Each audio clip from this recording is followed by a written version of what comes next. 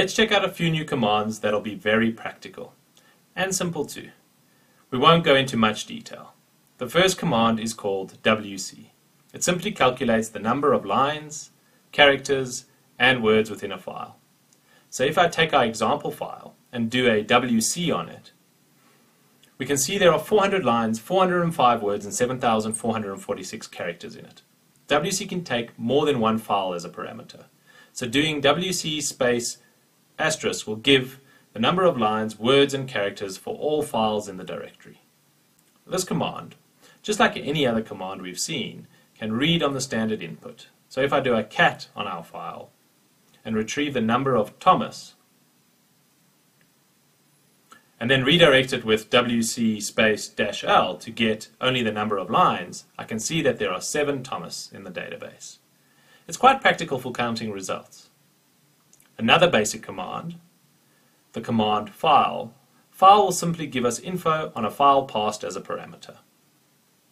Here we can see that this file is in UTF8, and that's it's a text file.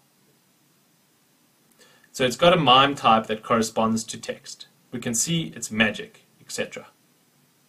Another command, ifconfig, which gives info on your network.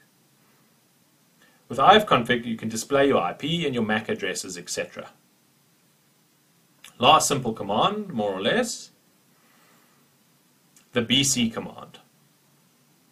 BC is very simple. It's a calculator. So if you type 2 plus 3, it'll return 5. However, BC is very powerful. It can run scientific calculations, such as sine, cosine, exponents, powers, etc. It can convert number bases, start with a base 2, and return the result in base 16, etc. So BC is quite practical, and on top of that, it reads from the standard input. So if I do echo 1 plus 2, and pipe it in BC, it'll return 3. Let's say I want to calculate the number of lines, or something like that. BC allows me to do so. The last command we'll see in this video is slightly more complicated, but not that hard. The command find.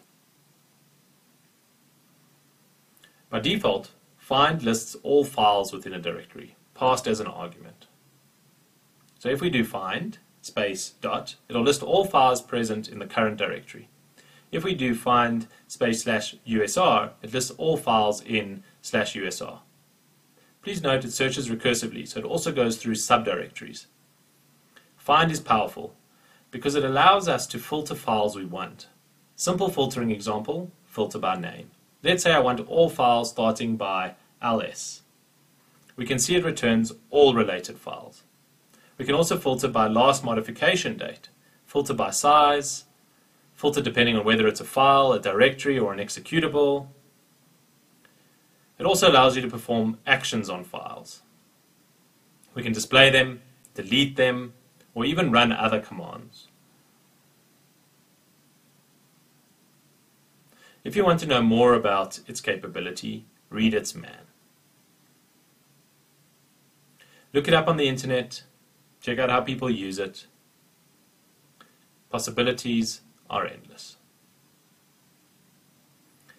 Last thing I'd like us to see the environment. What is it? It's simply a list of variables in shell that will be automatically sent to all your binaries and scripts. So if we do env, it'll display the list of variables. We can see that it works by a key slash value system. So path has all this value. Path can be used to tell the shell where to look for binaries. Here you can see that the user is called Bokel. You can see the terminal used here, it's xterm.